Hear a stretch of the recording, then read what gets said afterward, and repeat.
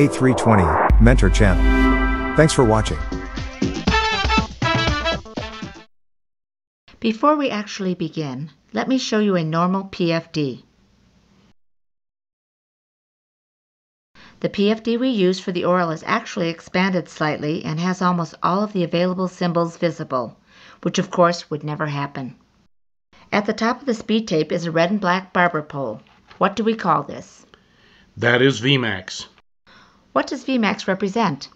VMAX is based on VMO, MMO, VLE, or VFE, whichever is lower. VMAX will move to reflect the lowest limitation but it will not show VMO-MMO for alternate law. What occurs at Vmax? If we accelerate past Vmax, we will get a continuous repetitive chime. Also, an ECAM message will be displayed. If you accelerate past Vmax, on the left are double green tick marks. What is that called? That's high speed protection. If we reach that speed, what things occur? That speed is 6 knots above VMO or 0.01 above MMO. We will get an autopilot disconnect. The airplane will roll wings level if the side stick is released, or bank is limited to 45 degrees if roll is requested, and pitch up in an effort to slow below that speed. This pitch up can be overridden by full forward side stick. If you continue to try and accelerate, what will happen? the aircraft would accelerate to VMO plus 30 or MMO plus 0.07. When it reached that speed, the nose would definitely come up and would decelerate to VMO plus 16 or MMO plus 0.04. Once we slowed below Vmax, the protection logic would be reset. Just below Vmax are a set of magenta brackets. What are those called? That is econ descent range. When will these econ descent brackets appear? Several conditions must be met. First, you must be in the descent mode. Next, the aircraft must be in the descent phase of the MCDU. Finally, as indicated by the magenta color, you must be in managed speed. What is the range of speed between the econ descent brackets?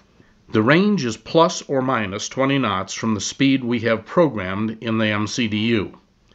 If this is a limitation, such as 250 below 10 or close to Vmax, the speed will be within 5 knots above or below the limitation. On the speed tape, we have a little green circle. What is that? That's called green dot. What does green dot represent? Technically, it is the best lift over drag. It also represents our best drift down speed. On the Boeing, this is known as clean maneuvering speed. What is required for the pilot to actually see the green dot? The aircraft must be in clean configuration. What does this amber tick mark represent? VFE next, the next maximum flap extension speed. This tick mark is displayed at 185 knots. What is our current flap configuration? At 185 knots, the next flap setting would have to be 3. That means the current flap setting would be 2. As you continue your approach, you move from flaps position 2 to position 3. To what speed will the amber tick marks move to, and what will happen to Vmax? The amber tick marks will move to 177 because the next flap setting is flaps full. That speed is 177. Vmax will then move down to 185 knots. What does that S represent? During the takeoff phase, that is the minimum slat retraction speed. As the aircraft accelerates through S speed, I can retract the flaps from position 1 to up. However, S is also used during the approach phase of flight. If the approach phase of flight has been activated and I am in autoflight, then the aircraft will slow and maintain S speed. S speed is an optimum speed to be flying and is not the minimum speed. The minimum speed, of course, is VLS. What does the F represent? F speed is called the minimum flap retraction speed. Because the flaps are in position 2 or 3 during takeoff, as I accelerate through F speed, I can raise the flaps from either 2 or 3 up to 1. However, if I am flying in the approach phase of flight and have the managed speed selected, the aircraft will fly that speed if autoflight auto throttles are engaged. F speed is basically the same thing as S speed, except F speed is really for flaps 2 or flaps 3. We have a magenta speed bug. What type of speed is that? That is managed speed. Magenta equals managed. It is managed speed for the approach. It is a managed speed for any phase of flight, but we regularly see it as managed approach speed. Just below the managed speed bug, there is a horizontal yellow line. What is that? That indicates on the tape the actual speed at that moment. What is the vertical yellow arrow off of the speed line? That is the speed trend arrow. It indicates the speed at which the aircraft will be in 10 seconds if acceleration remains constant. Is the speed trend arrow always displayed? No. It only displays when acceleration is greater than 2 knots per second and disappears when acceleration is less than 1 knot per second. What does that blue bug represent? That represents a selected speed. Remember, blue to you, the pilot. Just above the blue speed bug is a blue 1. What does that represent? That is V1. At the bottom right of the speed tape are a couple of symbols. The one nearest the speed tape is sometimes called the tiger's tail or the bumblebee. What does the top amber portion represent? That represents VLS, the lowest selectable speed. What if the pilot selects a speed on the FCU that is below VLS? Will the aircraft slow to that speed? No, assuming we are in autoflight. The aircraft will only slow to VLS, not below. On the Performance Approach page in the MCDU, you will find a VLS speed in green. What is the difference between that VLS and the VLS represented on your PFD? The VLS on the PFD is generated by the FACS. It's a dynamic number that changes regularly. It takes into account not only the gross weight, but the angle of bank, load, and all other factors. The number in the MCDU is generated from the FMGC and based specifically on the aircraft gross weight. This is really used to develop our V approach speed. For whatever reason, the pilot allowed the aircraft to decelerate through VLS, and the speed got to the second or amber bumblebee portion of the speed tape. What does that represent? The second portion is called alpha prot, which is alpha protection. If you get into alpha prot, what are you, the pilot, commanding? When I move the stick in alpha prot, I am commanding a load factor. There are four protections in effect. We use the acronym ASAP. Angle of attacks commanded, the speed brakes retracted, the autopilot kicks off, and the pitch nose up trim is inhibited. We are limited to a 45 degree bank angle. While in alpha protection, you let go of the side stick. What will occur? The nose will drop for the aircraft to maintain the top of alpha prot speed. What pilot input is required to get out of alpha prot?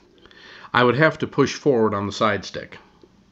Instead of pushing forward, you hold full aft stick and the speed deteriorates to the top of the red tape. What does that represent? Oh, that's alpha max. What are you commanding in alpha max?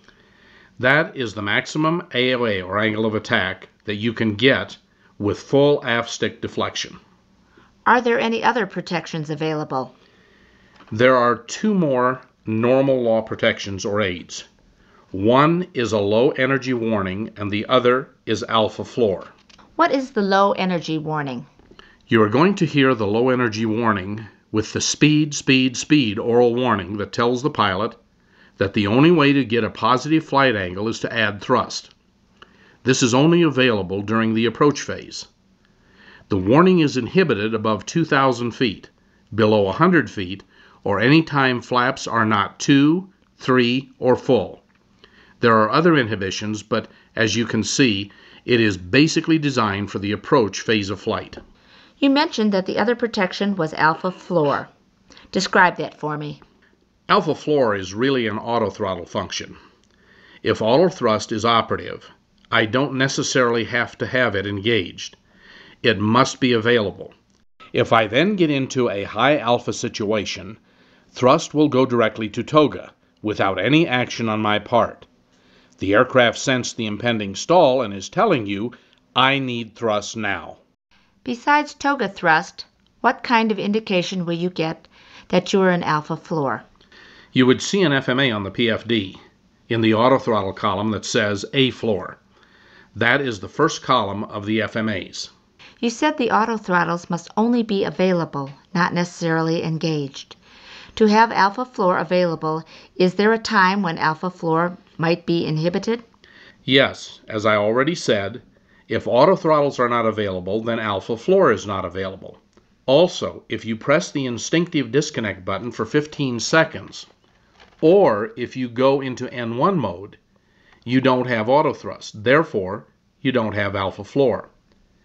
Other times would be any time the aircraft is below 100 feet in landing configuration, or on the 319 if you are single engine and the flaps are out of the up position. If for some reason we degrade from normal law, the tiger's tail disappears. In its place, we still have VLS, but now have a red and black bumblebee. What is that? The top of the red and black is called VSW or V stall warning. A stall warning can occur anywhere in this range. What is the magenta 136 below the speed tape? Magenta equals managed. This is the managed speed, but is off scale. It's the same as the yellow speed indicator, except it is off scale low. We can also see a similar speed, which is off scale high at the top of the speed tape. What is the .78 indication below the 136 indication? That is a Mach indication. It is only present when the aircraft speed is Mach 0.5 or greater and the ILS button is not pushed. There is the identifier IIAD, which of course is Washington Dulles, and the 110.1. How can the pilot get that display? First, I must select the ILS push button on the FCU. Now it will display the localizer and glide slope scales, but also the identifier.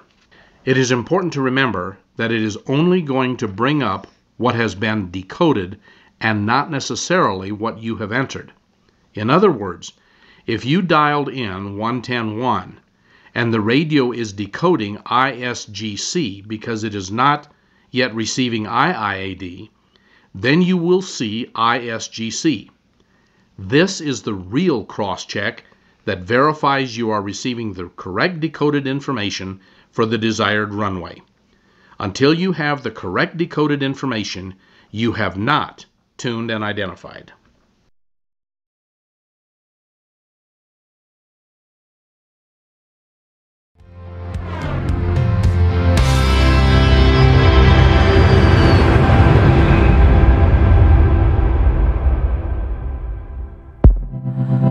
A320, Mentor Channel.